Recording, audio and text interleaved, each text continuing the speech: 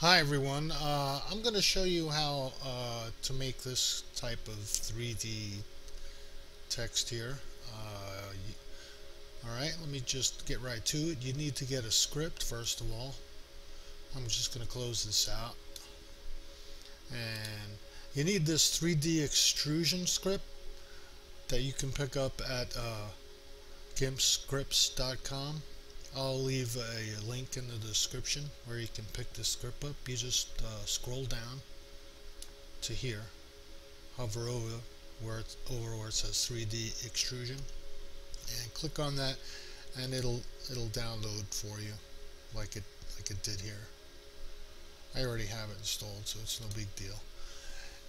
Anyway, uh, anyway, I'll leave the link in the description where you can pick that up because you're gonna need you're going to need uh, that script to uh, do this one. Anyway, we'll start with a new file, the default file, 460 by 400. And we'll put out some text. Um, we'll leave it just black. And I got I got the text set to uh, this text here, Planet uh, Kosmos and I'm going to type out 3D-TE-XT. And I have the spacing set a little wide, a little uh, more spacing of 15. That's to give the uh, extrusion that's going to be used, a little space, a little room. Alright, now we want to center this by clicking the um, alignment tool and clicking our text and clicking align middle of target and then clicking distribute horizontal center of target. And there we go. It's centered. Now we go uh, what I like to do is go text to path. Creates a nice uh, path for our text to follow. If we need if we need a path at least we have that. Okay now uh, we go uh, new layer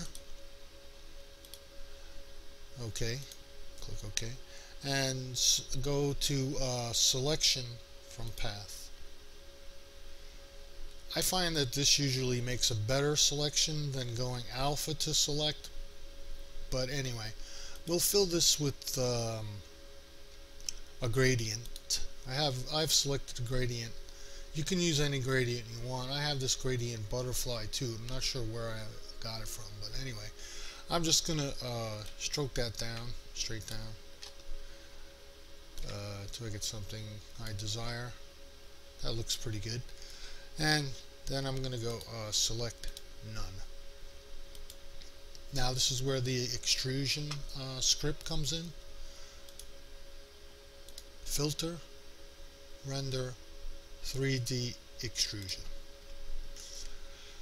I've already have this set to 225 you can go you have all these options you can go in between but I'll just set it to 225 with uh, a, an extrusion depth of 8 I believe 10 is the uh, default. We'll just reset it and show you. Yeah 10 is the default so we'll just set that to 8 and this to 225 and I'm going to leave everything else at default and not use any pattern overlays and click OK. It renders pretty quickly. And there's our extrusion right here, our extrusion layer. It's pretty similar to our uh, gradient layer that we laid out earlier, but it's beneath our main gradient layer that we used our path. Uh, we uh, did a uh, selection from the path and placed out our gradient here.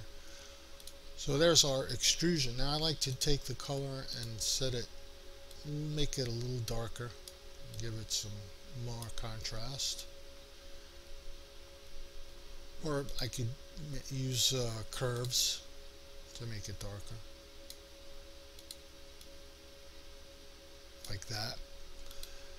Then uh, um, I could also use curves on the uh, text layer. This, uh, not text layer, it's a uh, stroke gradient layer. Anyway uh, we could go color curves on that.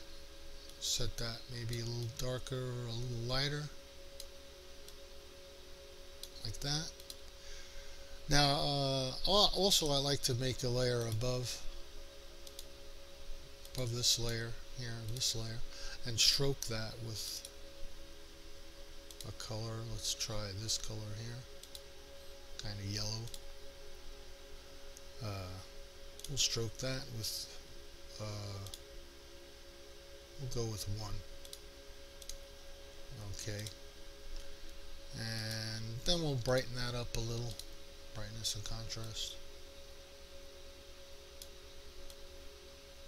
There we go now we got it all together. We can put our drop shadow on this layer on our extrusion layer.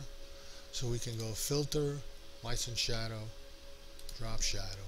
I'm just leaving this all at default with the black drop shadow 60% opacity and allow for resizing. And there you go. That's pretty simple. You need the extrusion script the 3D ex extrusion right here 3D extrusion to do this. Now that's pretty simple. Hope you guys enjoyed this. Ciao